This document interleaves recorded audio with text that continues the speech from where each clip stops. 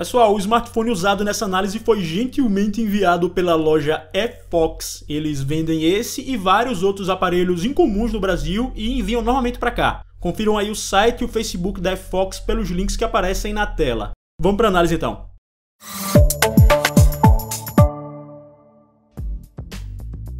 Fala aí pessoal, eu sou Rodrigo e hoje vocês conferem minha análise do iNew V7, um smartphone intermediário que tem algumas especificações muito interessantes, como uma câmera de 16 megapixels com sensor Sony ou os pouquíssimos 5.9mm de espessura. A iNew é mais uma das fabricantes chinesas que não são muito conhecidas por aqui, mas que já lançou modelos que chamaram a atenção por aquelas bandas lá. E assim que você pega esse smartphone de frente, nem dá para ter aquele pensamento de ser uma coisa Xing Ling da China, porque a telona de 5 polegadas causa uma boa impressão. Embora nas laterais ele tenha um acabamento com uns parafusinhos que eu pessoalmente não admiro muito não. Por falar nas laterais, o botão de ligar e desligar fica à esquerda da tela, o que é diferente do padrão ocidental de smartphones Android e isso pode causar uma certa confusão no começo. Uma última menção sobre o visual vai para o botão Home, que é uma luzinha suave que caiu muito bem e a resposta aos comandos é boa também. A tampa traseira consegue ser mais fina que as usadas pela Samsung, o que é um ponto não muito positivo, principalmente para quem gosta de celular pronto para pancada. E uma coisa curiosa é que atrás dela você descobre que os dois slots para chip são de padrões diferentes. Um deles é para micro SIM e o outro é no padrão grandão comum mesmo, uma coisa rara hoje em dia. E também tem um slot de cartão micro SD para expandir a memória interna, que é de 16 GB. A tela, como eu falei, tem 5 polegadas e a resolução é de 1280 por 720 HD, o que para mim já é suficiente para se ter uma boa definição de imagem. Só que o que me causava mais desconfiança era a qualidade da imagem desse painel, que nas especificações é IPS. E olha, vou dizer uma coisa, isso foi uma bela surpresa. Eu, inclusive, posso dizer que o painel desse smartphone é mais vívido do que um de um Moto G da vida, porque os pretos são escuros, as imagens são bem definidas e também rola uma tonalidade meio fria, mais puxada para o azul, que é, me agrada pessoalmente. Embora, claro, isso possa ser alterado com um software qualquer que você baixe no Google Play. Passando para a parte do desempenho, a gente tem aqui um chip quad-core da MediaTek com 2 GB de RAM e um chip gráfico um pouco velho que é o Mali 400. O processamento em si não é nada demais, inclusive eu posso dizer que essa CPU da MediaTek ainda não está no mesmo nível de uma Snapdragon da mesma categoria, mas os 2 GB de RAM, esses sim fazem um bem enorme. O resultado prático é que a operação do sistema em si é extremamente rápida, com aplicativos abrindo e fechando sem reclamar, uma coisa bem próxima do que a gente vê num Zenfone 5, que também tem 2 GB. Já em relação à performance em jogos, ela só foi aceitável em minha opinião. Eu testei aplicativos pesados como o Asphalt 8 e o Modern Combat 5 e justiça seja feita, ele rodou ambos com um belo nível de gráficos e tudo mais, só que o frame rate, ou em português a taxa de quadros da imagem, estava um pouco abaixo do padrão com que eu estou acostumado. Ou seja, principalmente no Modern Combat 5, eu percebi que a velocidade de resposta da mira ficou um pouco mais lerda que o comum e isso afetou um pouco a precisão da jogabilidade. E esse efeito aconteceu mesmo depois de eu ajustar a sensibilidade dos controles lá no menu de opções. Agora vamos falar sobre as câmeras. A traseira tem 16 megapixels com sensor Sony e isso já foi suficiente para me deixar muito interessado. Só que, galera, na prática eu acho que a gente tem que ter um pouco de cautela com isso.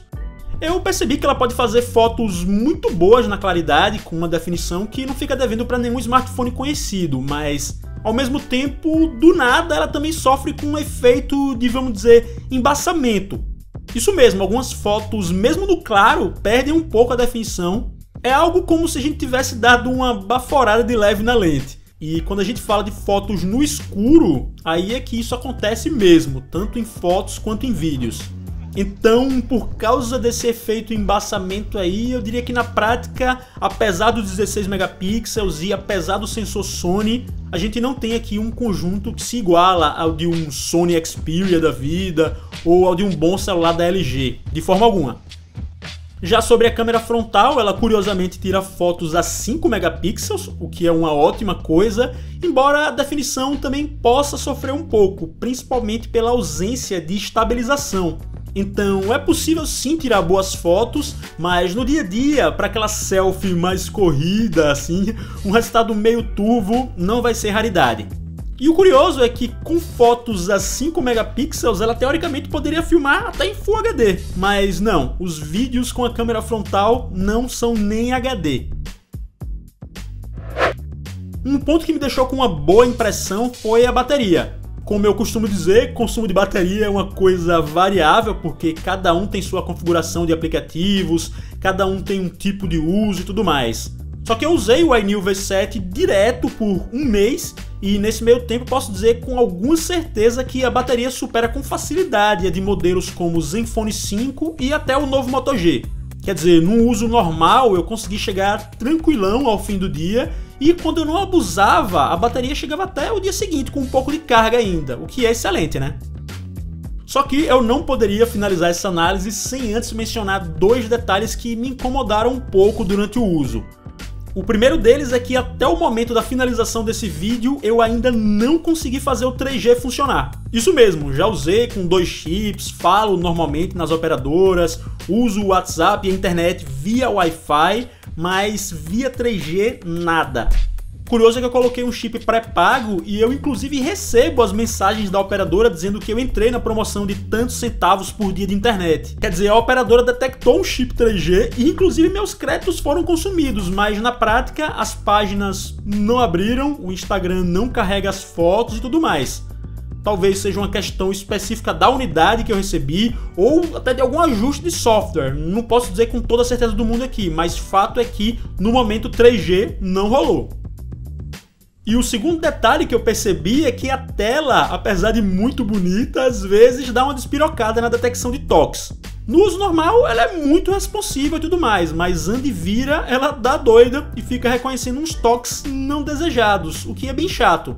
Por exemplo, eu tô lá no Instagram vendo fotos e quando vou rolar para uma próxima imagem, ele curte a foto atual sem eu querer, como se eu tivesse dado dois toques.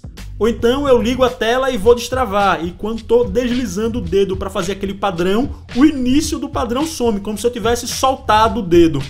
É mais uma questão que talvez possa ser removida com atualização de software, só que eu preciso citar, porque isso aconteceu e quando aconteceu foi muito chato. Não é sempre, mas rolou.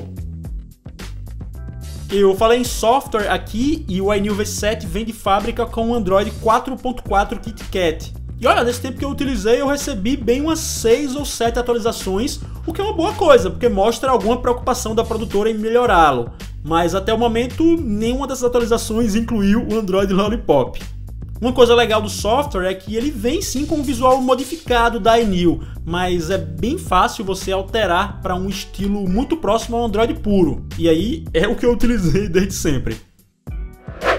Assim eu vou terminando esse vídeo, pessoal. Como vocês viram, eu apontei para pontos negativos, como algumas imagens embaçadas da câmera, o desempenho não tão rápido em jogos, ou a tela que às vezes deu a doida. Mas também existem pontos positivos, como a beleza do visor, a rapidez do sistema em si e a boa duração da bateria. Não falei do som porque eu acho que ele nem fede nem cheira, é ok. E só para constar, ele não tem LED de notificações em cima da tela. Eu resumiria essa análise dizendo que o V7 é um aparelho bom, que tem méritos claros, mas também rolam alguns pontos que precisam de refinamento. Talvez seja uma opção a se considerar como um Android secundário aí. Se você gostou desse vídeo, clique em gostei e se é sua primeira vez aqui no meu canal, clique em inscrever-se, porque assim você acompanha meus próximos envios aqui ao YouTube. Também os convido a me seguirem nas redes sociais, elas estão aparecendo na tela nesse momento, vão aparecer logo após o fim do vídeo. e hoje eu vou ficando por aqui, pessoal. Um abração para vocês e falou!